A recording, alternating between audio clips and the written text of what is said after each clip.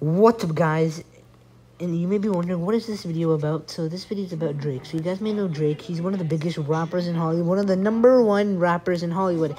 Now, if you guys may know, this is the fourth or the third one right here.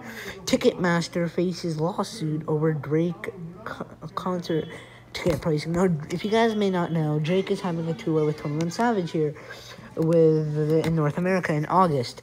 Now, the Drake tickets are $600 for one ticket. That's a that's kind of expensive for tickets. Not gonna lie. Um, but like he's suing Drake for Ticketmaster because like he's like he's suing him because he's his tickets are too expensive. So yeah, uh, I mean his Drake's ticket. I mean he's Drake. He's one of the number one rappers in Hollywood. So you guys, if you comment down below if you think Drake is the goat. Drake is I he I like his music. He's awesome. Drake is awesome. If you want to check out Drake's channel, I'll leave the links in the comments down below. Well guys, I'll see you guys in the next one and see you guys later. Peace.